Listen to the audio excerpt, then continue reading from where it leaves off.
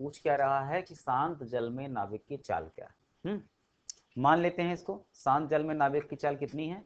X ठीक? और धारा भी साथ में शामिल है ना?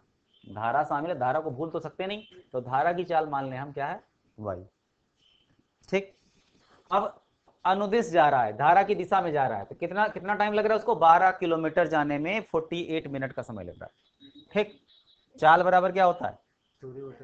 दूरी बटे समय। सही जवाब तो और चाल, धारा की दिशा में चाल क्या होती है? हमेशा जुड़ जाती है। एक्स प्लस वाई बराबर कितना होगा? दूरी बटे समय। दूरी कितनी चल रहा है? बारह किलोमीटर। और समय कितना ले रहा है? अड़तालीस मिनट। मिनट को घंटा बनाएँगे? घंटा बनाएँगे तो कितना, क्या करेंगे? साठ का भाग देंगे। साठ ऊपर चला गया। ठीक? और बारह दूनी चौबीस दूनी अड़तालीस। चार बार में कट गया।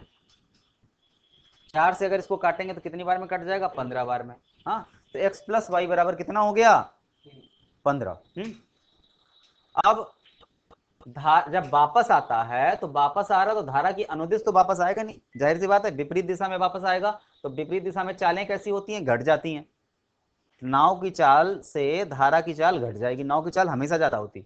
अगर ज़्यादा नहीं होगी नाव की चाल तो क्या होगा? धारा बहा ले जाएगी उसको अपनी तरफ़। तो एक्स माइनस वाई बराबर क्या हो गया? चाल बराबर होता है हमेशा क्या? दूरी बटे समय। दूरी तो वही है। दूरी तो बारह ही किलोमीटर है ना। कि समय दूरी बढ़ जाएगी क्या? तो दूरी बारह किलोमीटर। और समय कितना लग रहा है? एक घंटा बीस मिनट। एक घंटे को तो एक घंटा लिख लीजिए आप। बीस मिनट को आप बीस बटे साठ लिख लेंगे तो ज़्यादा बेहतर रहेगा। ठीक? बेहतर क्यों रहेगा? क्योंकि वो मिनट में नहीं चाहिए ना, हमें तो पूरा घंटा चाहिए।